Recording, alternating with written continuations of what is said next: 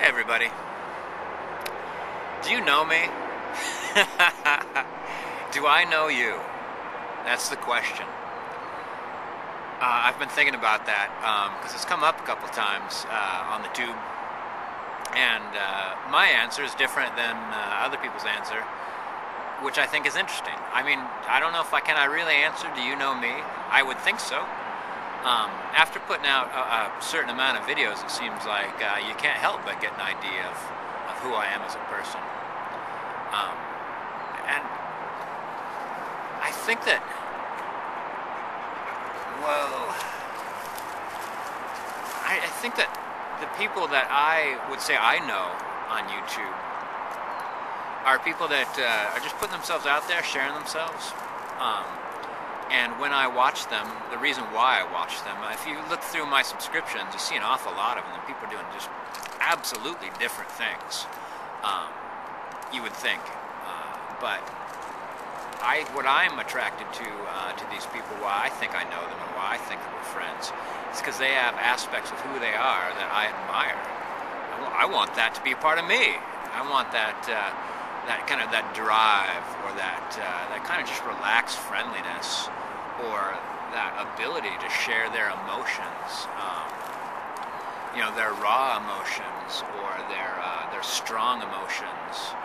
Um, or their more subtle ones that it it comes across. Um, I was watching a uh, young lady recently, and uh, she was talking and enjoying herself, and she glanced over at her husband uh, while she was talking, and she paused for a moment, and almost like she forgot that she was filming herself for a moment, and then she just started talking about how much she loved her husband, and then then went back to doing what she was doing. Like it was almost like she was speaking out loud uh, the feelings that were going on for her, and I don't think she was she didn't, I don't think she planned that. I don't think it was intentional in any way. I think that was just some spontaneous love that came out while she was just filming herself having a good time. That's amazing. I uh, I felt uh, an immediate uh, friendship to this person for their uh, their ability to uh, express themselves and share themselves that way. And I hope, I mean, what I, when I say that I see that, uh, that aspect of who that person is, or who you are, who we all are, the things that attract me to you, and I want that to be a part of me. I want, I want to share myself that way. I think that's great, and uh, thus I feel that by by seeing that, by being aware of what I feel that must be happening for for you, for that person, um, I feel like I know you. Um, so, that's my question.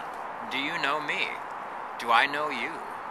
Um, if you do, you know, why do you think you know me? And uh, if you're the few people out there that I've heard speaking about uh, not knowing people on the tube and not, you know, not really being friends because we're not, you know, actually hanging out. You know, why do you feel that we don't know each other or that we're not real friends?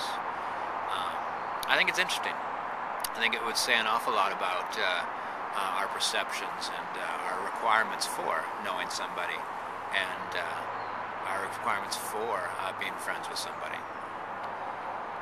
So, there you go. My question to you Do you know me? Do I know you?